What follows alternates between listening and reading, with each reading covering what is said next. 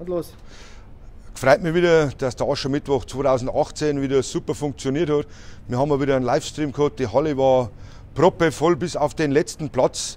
Man sieht, die AfD zieht, die AfD wirkt. Und wenn wir so weiterkämpfen, wie wir bis jetzt gekämpft haben, dann werden wir auch die Landtagswahl rocken. Und wie man sieht, auch die FPÖ steht auf unserer Seite, wird uns im Wahlkampf unterstützen. Wir haben mit Harald Wilimski einen sehr bekannten Redner aus der FPD, FPÖ da gehabt.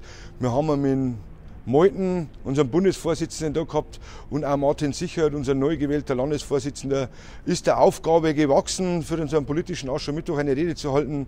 Ich freue mich schon auf 19, dann wird es noch besser. Danke, bis zum nächsten Jahr.